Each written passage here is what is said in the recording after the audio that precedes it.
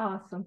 Thank you so much. I'm Paige. I'm an alcoholic. And you know, it's uh so it's such a privilege to be here with you guys. And Fred, I saw that in the comment. You're you're the Hall of Famer. Um, but I love I love how we're talking about sports and we kicked it off with a sports reference. Sports. Um, so yeah, no, I'm an alcoholic and I'm so grateful to be here with you guys today. And it's a privilege to be speaking about step six and step seven because man, these are, and to be fair, I would say this about any steps, but I'm like, these are exciting steps. There's so much in them, but I might not see that if I just look in the big book and kind of gloss over. But there's incredible, powerful directions in our literature in the book Alcoholics Anonymous, and and it's exciting. So, kind of first and foremost, what what the heck? What the heck is a defective character? What the heck is a shortcoming? And what I want to preface this with if you have a different idea of what they are, you're right, I'm wrong. You win. You are right. You are absolutely correct. I am wrong. Frequently wrong. Title of any inventory I've ever written. I'm wrong. But what it makes sense in step five that says, I looked at the, I shared the exact nature of my wrongs.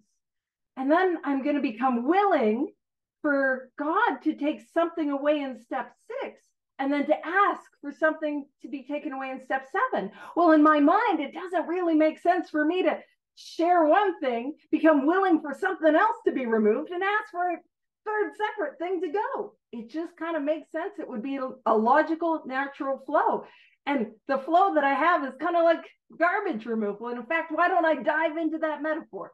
Because I am so sorry. If you guys are not here for metaphors, this is going to be a long talk.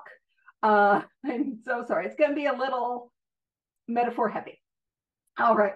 So if you're picking up what I'm throwing down, we got some metaphors. And so what I've come to find is that the depth of my soul, there is a spiritual house. And if you're again, if you're picking up what I'm throwing down, you're like, yeah, like that metaphor. All the metaphors are consensual. You can say, no, I don't have a spiritual house in the depth of my soul. It's fine. But for those of you who are open to the idea of a spiritual house in the depth of your soul, what I want you to know is that your house is good. Your house is incredible. Your house is wonderful. It has been created by the most incredible, capital D, capital A, divine architect. It is wonderful. Girl, the property taxes on that must be high. You know, ooh, that's a valuable house.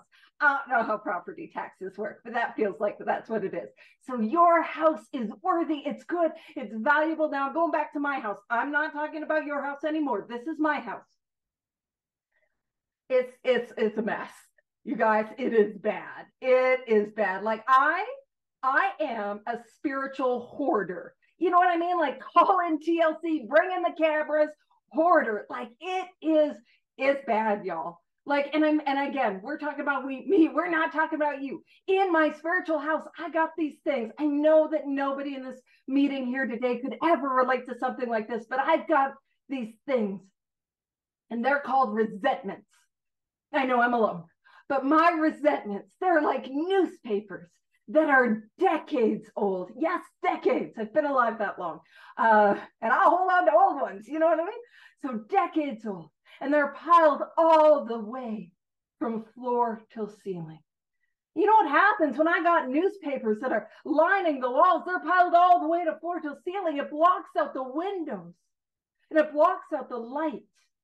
And I find myself, I'm sitting in darkness.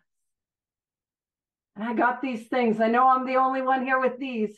They're called fears. And they're like these empty bottles and cans that are strewn all over the floor. And because I'm in darkness, I can't see where I step. I can't see where I stand. And every movement that I take, they clank and clatter and sound bigger and louder than they really are. And I know I'm alone on this, but I got this stuff. It's called sex conduct. It's a little like the dead cats behind the freezer. I know they're there. I can smell them. No cats were harmed during the making of this metaphor. About real clear, it is only a metaphor. No cats were harmed. We don't got to call like this spiritual SPCA. It's all good. Only a metaphor. And so, what am I doing in that fourth step? Well, I'll tell you what I'm doing in that fourth step is I'm getting that stuff in into bags and into boxes. You see, these steps don't happen in isolation, it is a progression. And so I start to begin to pull down those newspapers one by one, and I start having a look at them. And you know what happens? is I find out the information was wrong the whole time. I thought it said extra, extra, read all about it. Everyone else is a jerk.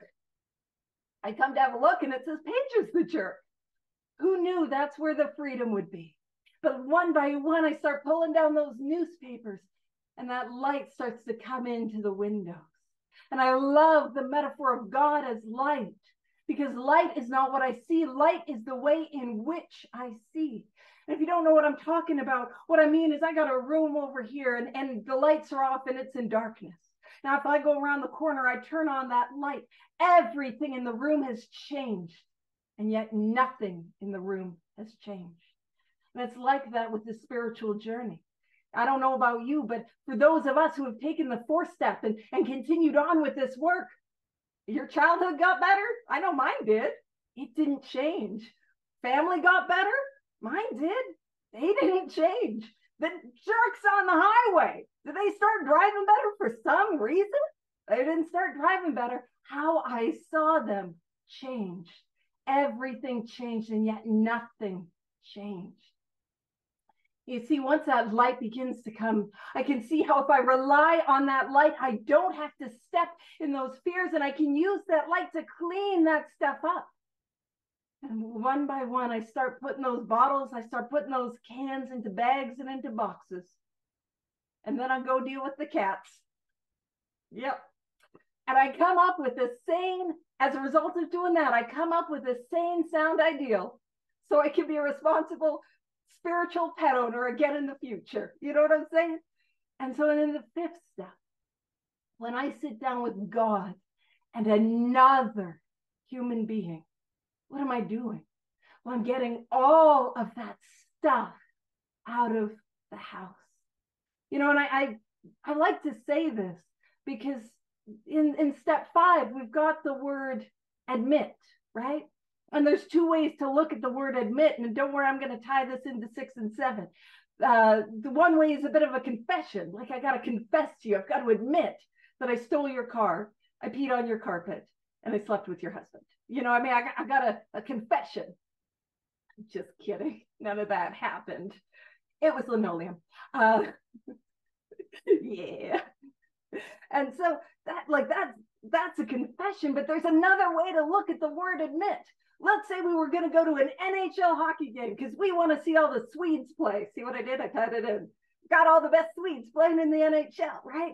I get my ticket. It might be a little overpriced. I have no opinion, um, but I get my I got my ticket. And what is it going to say on the ticket? It's going to say admit one. So another way to look at the word admit is not just a confession, but a letting in to be let in. I'm going to let in more and more of God's light, and I'm going to let in another human being. In that fifth step, I get all of that garbage out of the house and I take it to the curb. You know what step six is all about? Step six is all about becoming willing for the garbage man to come and take it away. Doesn't make sense in step six to, to hold on to those bags of trash. No, I love it. It's my trash. I'm a hoarder. I have a tendency to do that though, right? It's got memories. I love it, you know? And uh, and then what's step seven? It's about asking, making the call to the 1-800 God junk guy, the cosmic garbage man to come and take it away. That's what six and seven is, is all about. It. And that's what's getting removed. And that is what is getting relieved from me. And I, I don't know about you guys, but when I got to six and seven, I I I wanted to be in I wanted to be in defect removal. I wanted to be in the spiritual waste removal department. Kind of, oh, it's a good metaphor. Oscar the Grouch, you know, I was living in that trash. That that was me. And oh man, it was such a good metaphor because that was me, like cranky and miserable. I also don't know if everyone around the world has seen Sesame Street, so this might not be the best metaphor, but that's what I'm referencing going to be obscure today. Keep coming back. I know I will. um, so, what I want to do, man, I want to be in the defect removal business. I want to do it. I don't know about you, but I show up to my defects of character and I I want to deal with them.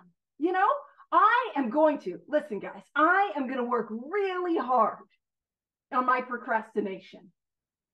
uh, later. You know, I I'm gonna overcome my anger, and I'm gonna really let go of my anger, and I'm not gonna be angry. I'm just gonna let go of that. It'll be great. You, I am free. I'm no resentments. You know, that's what it's like for me. Heck, I don't know about you. I I'm gonna listen. Listen, you guys. I'm gonna get freedom from the codependent need to be liked and validated and approval. I'm going to get freedom of putting you guys in the place of God in my life and giving me a sense of worth. But before I do that, could you tell me how this talk's going? Um, I kind of need you to like me. Is it going okay? Could you, could you just validate me a little? Just tell me I'm worthy. uh-oh, don't actually, uh-oh, don't actually give me that validation. Because you know what happens? I get it, and it's never enough. I need more. It's like validate me until I burn my life to the ground. You know what I'm saying? right? I have never been able to overcome any one of my own defects on my own power. See, in the third step, I got some news. In the third step, I got my pink slip, my spiritual P45 for those that live across the pond. You know, I got fired from the management position of my life. And you might say, hey, Paige, that, that seems a little bit harsh getting fired. I don't know about your life, but my life was unmanageable.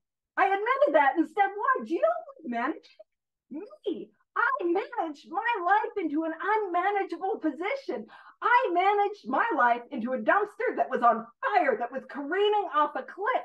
If I managed anything as poorly as I managed my life, I ought to be fired. So I got my pink slip, right? I'm fired from upper management. And then what I realized in step three, I got I'm in step two. We point to it in step three, but in step two, I was given a new employer. I don't know much about this employer yet in step two and in step three, but I got a new employer who will provide everything that I need if I keep close and perform his work well. Not what I want, which is annoying. Uh, those are different. Uh, who knew? Uh, me experientially, after a while, when you stop getting what you want, but you get what you need, oh, it's painful and amazing at the same time. And you see, then I'm given my job. My job is to go out and work for God. And again, if this is not a metaphor that resonates with you, that's cool. I've got more. I'm so sorry. So many metaphors. but I'm going to go out and I'm going to work for God. And you know, in the third step, it, it gives me this like really cool, like principal agent and and here what it actually means is i'm working on god's behalf i'm a representative of god but way more fun than that is agent Paige double o Paige um working for god i got my gadgets i got my like M is M the is the lady, the 007 lady? I don't know. I really should have looked this up beforehand. But like I got my gadgets, I got my supercar, I got all my stuff, I got a rocket, woo! Because you're gonna launch. I'm all excited. What is my cool super agent job. House cleaning. House cleaning. I gotta clean that house. I'm like, oh man. And so I did all that work in the house cleaning, and I get to the sixth step, and it's like, girl, can I get a promotion here? Did you see all that work that I did? And it was work. And, and, and God is kind enough to say, well, sort of. You are going to be relegated to the willingness department which does not feel like a promotion. Because what do I want to do? I want to overcome these defects of character. I want to win. I want to do it. I want that power and control. But what's my job? In step six, my job is all about willingness. All about willingness.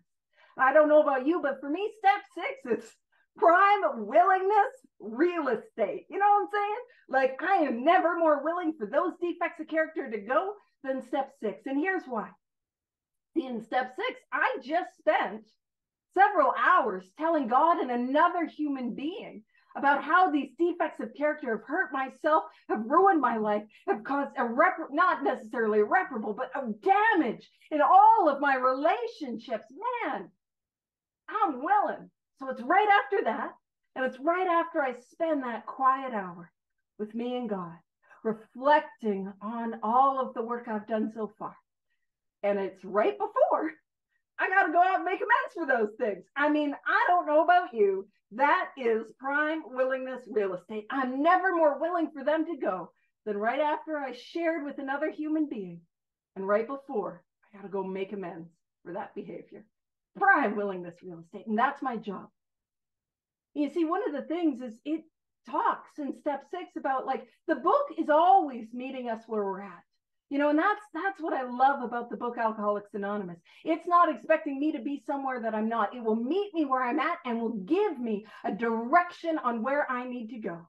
So if I spend that time in that quiet hour, and man, there's beauty and value in that quiet hour. It is powerful. What can happen? You know, where I was talking about step six last night, and and a friend of mine was talking about it's after that quiet hour that I get that delighted. You know, the fifth step promises. Yeah, I'm not delighted right after, but that quiet hour, that's where that turns to delight. And six and seven becomes that pressure release valve, that that journey, that turning to freedom, this turning point to this to the rest of my life. And it says that uh, we've emphasized willingness as being indispensable. So my job is to show up with buckets of willingness. That's my job. And it says, Are we now ready to let God remove? God is doing the removing. I don't get to do it. I'm not spiritual waste removal. That's upper management. I was fired from upper management from for gross incompetence. I am in willingness. That's more my speed. And it says, Are we now ready to let God remove from us all the things which we have admitted are objectionable? And He now takes them all, every one, everyone. And that's the thing, because I mean, like, am I willing to let go of all of it? Am I willing to let go of all of my dishonesty? And, and, yeah, of course, I'm willing to let go of the dishonesty that I can see on the surface that's caused me problems. But am I willing to let go of, of that dishonesty of saying yes when I really want to say no? Am I willing to have that honest, difficult conversation with the people around me? You know, that thing that I don't want to say, but I know I need to if I'm going to get some freedom. That. Am I willing to let go of that? Am I willing to let go of the idea of what people think of me? Am I willing to let go of that? I mean, man, it's a big ask but the book is meeting us where we're at. It says, if we still cling to something, we will not let go. What does it say? It doesn't say kick kick myself in the butt. Doesn't say live uh, close in a bad word. I didn't though. Uh, it doesn't say beat myself up. It doesn't say live in shame. It doesn't say you're a bad AA or a bad 12 step member. You're a failure. It says we ask. We ask God to help us be willing. And that's what the spiritual journey is about. See, my job is to build willingness. Willingness. That's my job. My job is to, to have anything. And this is something I've been talking about a lot lately. My job is willingness. My job is not worthiness. You know, that's my job is willingness. And if there is any any spiritual action that man, I don't know if I could take, I, I'm afraid to take. I I don't know if I want to make this amends. I don't know if I'm ready to let go of this defective character. I don't know if I'm maybe we're newer and it's like, man, I don't know if I'm afraid to ask somebody to sponsor me. I'm afraid to work on my fourth step. I'm afraid to do my fifth step. You know what I can do? I can pray for the willingness. I don't want to pray and meditate. We can pray for the willingness to pray and meditate. I can always pray for willingness. It's a little bit of a catch 22 because if I am willing to pray for willingness, I can build momentum from there. But if I'm not even willing to pray for willingness, I might be in some trouble. You know, we can start small and build that momentum, and that momentum will snowball. And you know, here's the thing: what what are my defects of character? What are my shortcomings? And from my experience, they can fall into two categories: selfishness and self-centeredness. Those two categories. Every single one of my defects of character, I can pigeonhole into either one of those. And selfish is how I act in the world, right? And self centeredness is how I think and I perceive. So bear with me. When I slept with your husband, peed on your carpet, and stole your car, that was selfish behavior. When I was worried you didn't like me because I did all those things, that was self centered. Does that make sense? That's that's the difference. And in and in step three, it talks about selfishness, self-centeredness. That we think is the root of our troubles. See, I am driven by a hundred forms of fear, self-delusion, self-seeking, and self-pity, and I step on the toes of my fellows, and they retaliate. oh, just one second. Willingness doesn't mean, yeah, wanting to. Yeah, actually, I'm going to go on that tangent. For those of you who come to the, the big book study I do, you know, throw things in the chat. We're going to bounce around and go on tangents. Willingness does not look like, why, yes, I would love to. I can't wait to write that inventory. Oh, yes, I would love to make amends to my ex. That is not what willingness looks like. Willingness can look like a terrible attitude, but doing it anyways doing it anyways. That is what willingness looks like. I, have a sponsee that I, work with. She is my most willing and begrudging at the same time spot I have never seen anyone eye roll as much as her and yet takes the action anyways. And she eye rolls, takes the action. When she takes the action, she gets well. When she simply eye rolls, she gets sick. And that's my experience too. I don't think I have the ocular dexterity to eye roll. I'm not going to try it. It'll make my brain stop working. But I that'll make my brain stop working, but I will casually use ocular dexterity. I I get the I'm a weirdo. Anywho, not a defect though. Being weird, not a defect. But fixating on how I'm weird and I'm different and I'm less than all of you, yeah, that self pity. You know that self pity, that warm blanket that feels really good, but turns into a noose? That one. Oh, and actually, we'll talk about that. Heck, we'll talk about. Yeah, uh, I was like, oh, should I go back to the original tangent? Yeah, I'll go back from the original tangent. We'll talk about self pity here in a moment. Somebody remind me, or don't. We'll see where we go. It'll be an adventure. And I don't know. I sometimes am as surprised as you are where we go with, with these things. You know, but when we talk about like, okay, what is a defective character? What is a shortcoming? Those selfishness and self-centeredness. You know, it's one of those things. If we ever said, "Hey, I, I started driving the bus again," you know, or I was I was taking my will back. I don't know if it happens like that. But what I want you to know is anytime I'm leaning into those defects of character, I'm not driving the bus. What is driving the bus is the defects of character. A hundred forms of fear, self delusion, self seeking, and self pity. I think, hey, maybe I did an okay job. You know, I didn't do great with with my alcoholism or my addiction, but I don't know. I can do this work thing. I'm going to drive the bus with that, but I'm not driving the bus. A hundred forms of fear are driving the bus, and we're going off a cliff. And see, what are these things? These defects of character, where they seem to originate from, in my experience, is from a conscious sense of separateness from God. You know, in many ways, somebody like me, an alcoholic and addict, I'm a little like a spiritual canary. You know, back in the days, they would have people in, in the mines and they'd be working and they'd have these little canary birds that would be tweeting and tweeting and tweeting. And what would happen is if gas was like toxic gas was exposed, the birds were going to be more sensitive to the gas. And they were going to stop tweeting and that knew because they died. And that and that was and that was the sign to get out of the mine. And i feel like somebody like me with this alcoholism i'm a little like a spiritual canary there's something wrong i feel this separateness I feel this pain because I'm separated from God. There's something wrong, and doing all the stuff that I can to try to anesthetize that, to try to ease that pain. But the things that I use seem to cause more pain. See, I, I, try to I try to drown it out with alcohol. I try to numb it out. This is my experience with crack cocaine. I try to stop that pain, but it makes that pain worse. See, when I'm in pain, all I can do is think about my pain. And so I'm in, I'm self-centered. I'm centering on my pain. And I operate from that place of pain and that I act in a selfish way. And the things that I try to do to operate from pain create more pain in my life than those around me. That's what a defect is. A defect of character in my experience is simply the things inside of me that are blocking me from that power. And yes, they're coming from pain. And so I, what I want to say is, is what that means is that the root of who I am is not bad.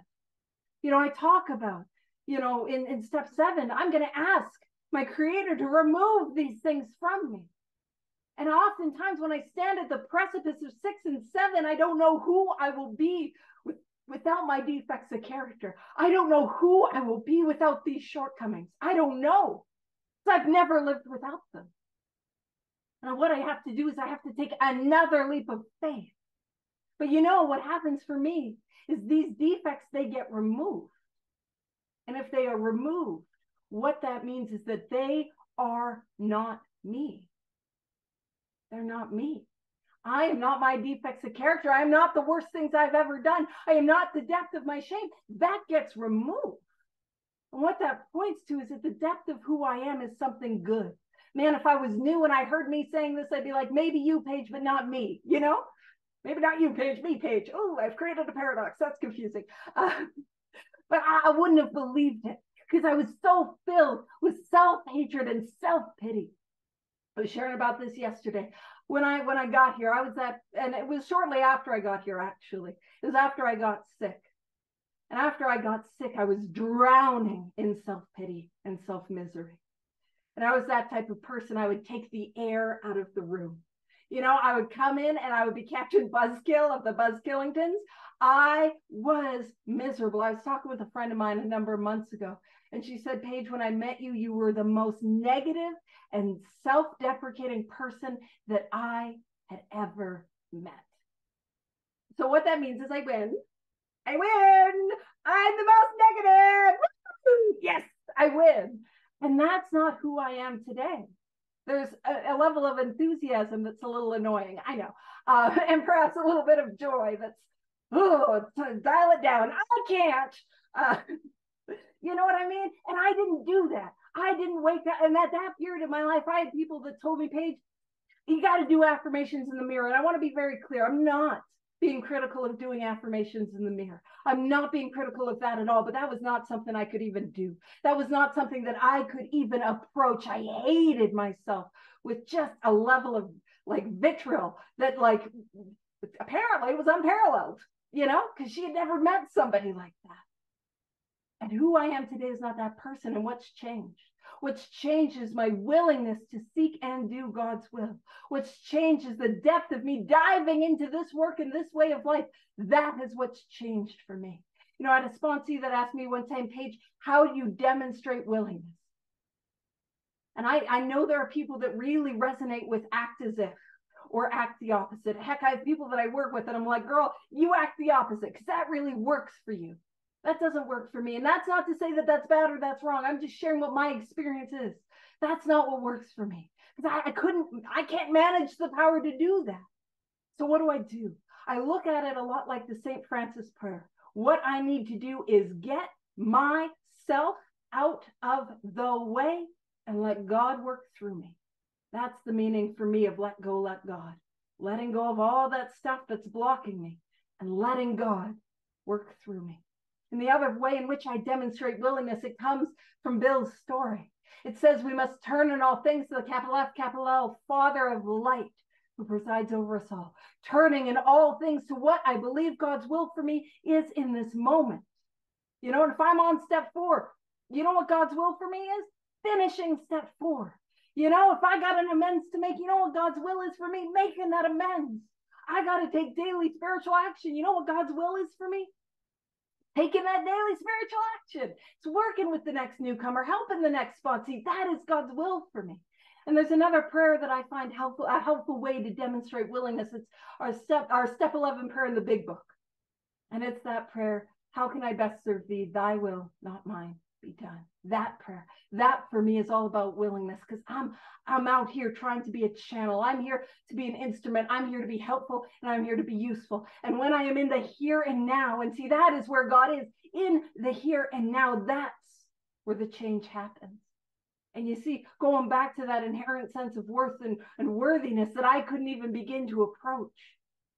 You see, this thing is a gift. It's a gift. I didn't earn it. I didn't become worthy of it. I sure as heck did not deserve it. I didn't. I took some actions, and let's be frank, I took some actions that I thought were a little lame and could not possibly apply to somebody like me. You know what I mean? I took some actions I didn't want to take that I didn't think would help, and then a change happened to me. And when it happens to me, I know that I didn't do it. And you see, this whole thing is not about climbing this ladder of success, which I thought it was, where I'm defeating the next, you know, the next defect of character, like it's a video game like level boss, you know, pew, pew, pew, I beat up my shortcoming. Yeah, gonna move on to the next one. No, that's not my experience. Actually, actually, oh, I didn't plan to tie this in, but I'm gonna tie this in. when I when I am trying to overcome my defects. And it's a little like that experience. Maybe you had it growing up, or maybe you have kids and and they they did this thing. And it's where uh, you got an older sibling that's playing the video games, and the younger sibling really wants to play. And so, what does the older sibling do? Gives them a controller that's not plugged in. That's what it's like. I'm working so hard on these things. My controller isn't plugged in. I'm doing it though. Is? It's not plugged in. That's what it's like for me. I, it's not plugged in. It's not doing it. And the more I work on it, the more frustrating it is because I don't have the power, but God has the power. The God of my understanding has that power. So I lean in to that power. You see, I'm not defeating each level of defective character. I'm giving more and more of myself to the unconditional love that is God. That's what I'm doing. It's an outpouring of myself to others. And I just want to share. I just want to share some experiences with you of what that looked like for me. So this was a, a, number of years ago. I was outside of a meeting and I was I was smoking with a friend of mine. I still smoked. I actually, depending on time, I'll talk about that because that has gone all over that. So I was still I was having a cigarette outside of a meeting, as you do. And I was like, hey friend, I've seen person A in a long time. I don't need to keep the fake cigarette going, but for some reason I am. Boop, boop, boop. Gotta ash it. Uh, focus. Uh, it's a fake, it's not, it's it's it's just my hand. Uh, sorry. Um, I was like, hey, person A, have you seen person A? I haven't seen person A in in a while. I wonder how he's doing. And my friend, now this is my friend who is a delightful, wonderful, squishy human being who doesn't dislike anyone. My friend made a face. And I was like, oh. And being the spiritual giant that I was, and clearly still am, I was like, I am getting that information out of you. I'm going to poke and pry, and you're going to tell me what that face was about. And so my friend confessed, my friend confessed that person B told my friend, so there's some gossip involved. Person B told my friend that person A said that he didn't like me and I was filled with self pity. And do you know what happened in that moment? I was like, oh my goodness. I don't care. I don't care.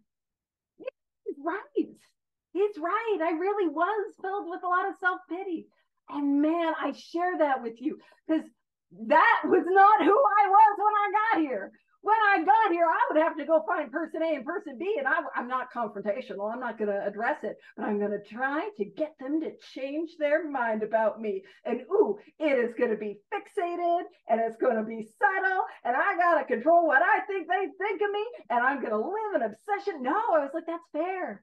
That's fair that he thinks that. And that was a freedom I could not have ever imagined. And what happened between Paige, who was obsessed and hyper focused, I'd come into a room, people would be talking, they stop talking when I come in. It's about me. How, how did I get from there to, oh my gosh, person A, that's fair, you're right. This work this work. I dove into this work and this change happened and I didn't earn it and I didn't deserve it. I just received the gift. And and then I got a little bit of time. I actually don't know. I'm not keeping track of time. Sorry, Steve. Um, by the way, if you're wondering, sorry, Steve is not how we make an amends.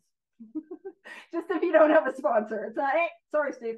That's my bad. Uh, but um, I have this other story and and it's again this is why willingness for me is about seeking god's will there's a spiritual um, activity or the spiritual um, exercise that happens about once a year. And sort of the thrust and it's it happens to be religious. In step 11 it says be quick to see where religious people are right and i run with that and i have so much fun and i've had oh man i might go way out no somebody tell me to be quiet. Um politely though please. Uh, or yell. It's whatever. I'll be fine. Um, I'm just thinking. I'm just thinking about all these experiences with step six and step seven. Um, and so I'll tell this one, then I'll maybe tell that one. I'll maybe wrap up with that one. Now I don't know what I'm going to do. We'll find out. It'll be a journey for all of us. So I was doing the spiritual exercise, and the spiritual exercise is for a period of time. You give something up, you add something to your prayer life, and you find an extra way to be of service. You do that for a, a, a number of days, a substantial number of days.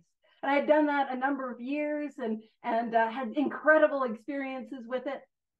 And uh, I knew what I wanted to add to my prayer life, and I knew the additional way I wanted to be of service, but I didn't know what I wanted to give up. And so I was kind of running it by some sponsees, and two of my sponsees, they both said, "Well, Paige, you could quit vaping because I had switched from cigarettes to vaping because I liked my nicotine to taste fruity because that's delightful." Uh, and I'm an adult, so I want it to taste like candy. You know, uh, I took to it right away. And they're like, "You could quit vaping," and I'm like, "That is the stupidest thing I've ever heard. I never rank my sponsees, but if I did, you'd be at the bottom.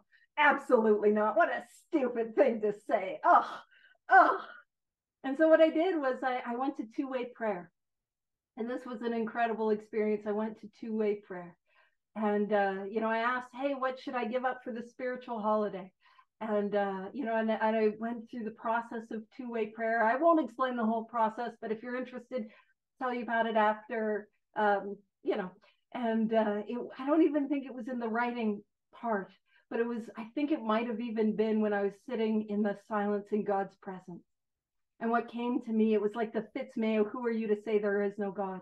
What came to me was, how big is your God? That was what I heard. And what came with that is an understanding of Paige, you either trust me or you don't. You're asking these sponsees to take the leap of faith, take that leap of faith. So I got it loud and clear. I'm going to give up vaping. And so as we're approaching that holiday, I it, God showed up and I was working with sponsees and this was before COVID, so I was meeting them in person and and I, like I was back to back to back to back. That has continued on. And, and my nicotine levels were going down because I wasn't able to sneak out for a vape in between like I used to. You know what I mean? And I'm like, oh, it's meant to be. It's meant to be. The day before, the day before I was supposed to give it up, uh, I was like, oh no, oopsie doopsies. I have made a terrible decision. Absolutely not. I'm going to give up being mean to me or something like that. Uh, no, no, we're not. We're not doing it. We're not giving up vaping. Oh, what a terrible idea. And I show up to work with the sponsee. I received a sponsee from a fifth step, and then I had another sponsee right after. And in between the three of us, we went out for a smoke and and we were just chit chatting and talking about it. And then I was I was talking about it you know, the my vape had a little lanyard, and the lanyard caught on the brake of my wheelchair and smashed to the ground. And I haven't had any nicotine since. And that's that is not, and that's not, by the way, I could not quit. Like I I am not an ex-smoker. Like I'm not over here like those things will kill you. No, I'm not like you. It's no, I didn't quit. I took surrendered action, and God does for me what I cannot do for myself you know, and and speaking of borrowing and and uh, doing different holidays, uh, there's a, a, New Year holiday that I did where um, you go over a flowing body of water, and essentially what you do is one by one you toss your defects of character. You take them from a piece of bread, and you just I was hunking ch- chunks of bread into a river. Is the quick summary that's what I'm trying to explain. And the spiritual summary is little each little piece is like a defect to character. And thankfully I did I just done a like, you know, I've done a, you know, four through nine. So I, ha- I happen to have a bit of a list of defects of character the the first year I did this. You know, it's it was at first. So I grab I grabbed the pieces of bread. I there's a bridge that overlooks a river not far from my house. And I was just kind of checking you know, and I'd imagine what the defect was. And I would, and at first, listen, I'm clearly an adult. I gave it a throw, like, let's see how far it'll go, you know, like, and then no word of a lie, my codependency. So I, I gave that chuck to the codependency and a fish ate it. I'm not even kidding. And then I was immediately, immediately like, oh God, can fish have bread? So I don't, I don't think, I don't think God took it on that one. You know what I'm saying? And so, but in that experience, what was happening for me is I stopped throwing. I stopped throwing. But I began to hold that piece of bread, that little piece of bread over the water. You see, six and seven, I'm not chucking. Six and seven is all I'm doing is a slight letting go as I reach towards God's will. And the defect falls. It falls. And where does it fall? Another beautiful metaphor of God is water. You know, it's water. It falls into the water, and I can watch as it's carried away. I don't do any of that. I didn't make the gravity, I didn't make the river. You know, and there's a beautiful spiritual teacher who talks about that being united with a power greater than myself. It's a little like the drop of water falling in the river, where the two become one and they're absolutely inseparable. And I, this is this is another story. I feel like I'm supposed to be wrapping up soon, and I will. What's what's the biggest lie ever told in a 12 step meeting? I'll end with this: lies. Uh, you know, um, but this was uh, this was a couple years ago, and it was the uh, 10 year anniversary of, of, when I got sick and and ended up in a wheelchair and with a number of neurological symptoms. And as I was approaching that 10 year anniversary, I could feel that self pity rising. I could feel that pain rising, and man, and I did not want to fall back into that self pity. And so I leaned back in, and I'm I'm doing another set of steps. I'm doing this thing, and you know, and I as I was and as I was writing on that inventory, I just you know, I was sitting and, and I, I could see that a lot of my resentments were based in the defective character, which is judgment. Just real quickly, that defective character, which is judgment. What I found that for me is, is I'm coming to the world with this less than ego, this feeling of who I am is not enough. And I got to judge you to give me a little boost if I'm better than, so I can feel a little better for the moment. And then I feel worse. That's the pattern of judgment for me. And honestly, that's a pattern of most of my defects of character for me. But I was seeing that all of these were based in judgment. And I and I was doing some work and I was taking a little break and I was listening to the spiritual book, the spiritual book for the same same lady who who spoke about union with God being the drop of water, being united with the river. And in that book, she said, "You cannot say that you love God if you do not love His children." And in that moment, I felt that judgment fall it fell from me. It fell. It wasn't me that did it. It fell. And, and of course I have moments, but man, it has never come back to the same, the same way that it did before. What six and seven for me is all about is taking that surrendered action and leaning into what I believe God's will is. And this is, oh, this is what I'll end it. And I ended it with this last night. I promise on this one. This gift truly is a gift. Sobriety, emotional sobriety, freedom from these defects of character, they're a gift. And what I mean is, I do not earn it. I do not deserve it. I did not become worthy of it. What I do is, I put myself in a position to receive the gift. If you imagine Christmas morning, imagine, you know, it's dark outside. We've got the tree, and actually, you can look. We got we got a Christmas tree. Yeah, I know. You're like, please don't point me out, Paige. Just look in your squares. You'll see a Christmas tree. Uh, a Christmas tree and, and it's the lights, the lights in the house are off, but the lights on the tree are on. And it's that warm Christmas glow. And underneath that tree, underneath that tree, there is a gift. That gift has been beautifully wrapped. Got the most incredible, immaculate bow. And on it, it's got a name tag. And that name tag has your name on it got your name on it. It's already there. I didn't earn it. I didn't become worthy of it. I didn't deserve it. What do I got to do? I got to wake up. Got to wake up Christmas morning and I've got to go down those stairs to receive the gift. So if you have not received the gift, please let us help you. Our life depends on it. Thank you for letting me share.